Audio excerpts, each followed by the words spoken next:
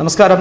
K Surendran B J പിയുടെ സംസ്ഥാന അധ്യക്ഷനായതിനു ശേഷം ഒട്ടനവധി കാര്യങ്ങൾ തന്നെയാണ് സംസ്ഥാനത്ത് തെരഞ്ഞെടുപ്പ് ഉൾപ്പെടെയുള്ള കാര്യങ്ങൾ ലക്ഷ്യമിട്ട് ബി ജെ പി ഒരു മാറ്റത്തിന് തയ്യാറാകുന്നത്. നിലവിലുള്ള ബി ജെ പിയുടെ സംഘടനാ നേതൃത്വത്തെ തന്നെ അടിമുടി മാറ്റുന്ന രീതിയിലുള്ള ഒട്ടനവധി മാറ്റങ്ങൾ ഊർജസ്വലനായ കരുത്തനായ ഒരു യുവ നേതാവ് എന്ന രീതിയിൽ അദ്ദേഹത്തിന് നടത്താൻ കഴിയും എന്നുള്ള കാര്യമാണ് ഇപ്പോൾ കേന്ദ്ര വിദേശകാര്യ സഹമന്ത്രി വി മുരളീധരൻ പറഞ്ഞിരിക്കുന്നത്. കോഴിക്കോട് ഉള്ളിയേരിയിലെ കർഷക കുടുംബത്തിൽ ജനിച്ച അദ്ദേഹം കൃത്യമായും കഴിഞ്ഞ പത്ത് വർഷമായി പാർട്ടിയുടെ ജനറൽ സെക്രട്ടറിയാണ് സംസ്ഥാന ജനറൽ സെക്രട്ടറി എന്ന രീതിയിൽ അദ്ദേഹം സ്തുത്യർഹമായിട്ടുള്ള പ്രവർത്തനങ്ങളാണ് കാഴ്ചവെച്ചതെന്നും ഭക്തർക്കിടയിലും അതോടൊപ്പം തന്നെ കേരളത്തിലെ ഓരോ വ്യക്തികൾക്കിടയിലും വളരെയധികം സുപരിചിതനായ ഊർജസ്വലനായ ഒരു പാർട്ടി പ്രവർത്തകൻ എന്ന രീതിയിൽ കഴിഞ്ഞ മുപ്പത് വർഷമായി തന്റെ സഹോദര തുല്യനായാണ് അദ്ദേഹത്തിനെ കാണുന്നതെന്നും അദ്ദേഹത്തിന്റെ ഈ തരത്തിലുള്ള ഒരു വലിയ ഉത്തരവാദിത്തം ഏറ്റെടുത്ത കാര്യത്തിൽ വലിയ രീതിയിൽ സന്തോഷമുണ്ട് എന്നും മുൻ ബി ജെ പിയുടെ സംസ്ഥാന അധ്യക്ഷൻ കൂടിയായ വി മുരളീധരൻ ഇപ്പോൾ പ്രസ്താവനയിൽ പറഞ്ഞിരിക്കുകയാണ്.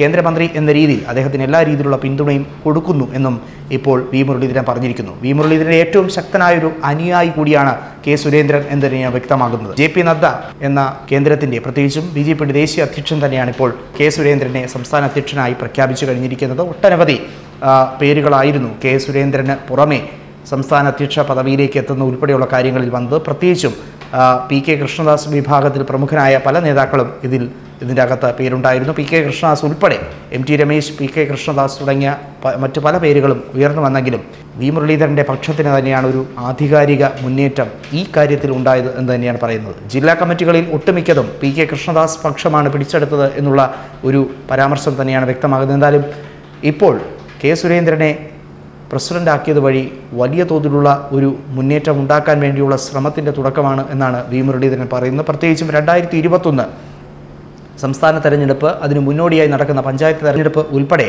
കെ സുരേന്ദ്രന്റെ നേതൃത്വത്തിൽ ബി ജെ പി ലക്ഷ്യമിടുകയാണ്. അത്തരത്തിലുള്ള കാര്യങ്ങൾക്ക് വേണ്ടിയുള്ള ശ്രമങ്ങൾ തന്നെയായിരുന്നു നേരത്തെ പത്തനംതിട്ട ലോക്സഭാ മണ്ഡലത്തിൽ വളരെയധികം ആവേശത്തോടു കൂടിയായിരുന്നു അദ്ദേഹം തെരഞ്ഞെടുപ്പിനെ നേരിട്ടത്. ഏറ്റവും ഒടുവിൽ പ്രഖ്യാപിച്ച സ്ഥാനാർത്ഥി കൂടിയായിരുന്നു എന്ന നിലയ്ക്ക് അദ്ദേഹം മൂന്ന് ലക്ഷത്തോളം വോട്ട് പിടിക്കാൻ കഴിഞ്ഞു എന്നുള്ളതാണ് വലിയ ശ്രദ്ധ കേന്ദ്രീകരിച്ച ഒരു കാര്യം. മാത്രമല്ല ഇതിന് തൊട്ട് പിന്നാലെ നടന്ന കോന്നിയിലെ തെരഞ്ഞെടുപ്പിൽ മൂന്നാം സ്ഥാനത്ത് പോയെങ്കിലും വലിയ തോതിൽ വോട്ട് പിടിക്കാൻ കഴിഞ്ഞു എന്നുള്ളതും ബി ജെ പിക്ക് അഭിമാനകരമായിട്ടുള്ളൊരു കാര്യമായി തന്നെയാണ് എടുത്തു പറയുന്നത്. എന്നാൽ കോന്നിയിൽ മൂന്നാം സ്ഥാനത്ത് പോയതിനെ വലിയ വലിയൊരു തോതിൽ പാർട്ടിക്കുള്ളിൽ തന്നെ വിമർശനം ഉണ്ടായിരുന്നു. എൺപത്തൊമ്പത് വോട്ടിന് അബ്ദുൾ റസാഖിനോട് മഞ്ചേശ്വരത്ത് പരാജയപ്പെട്ടതാണ്.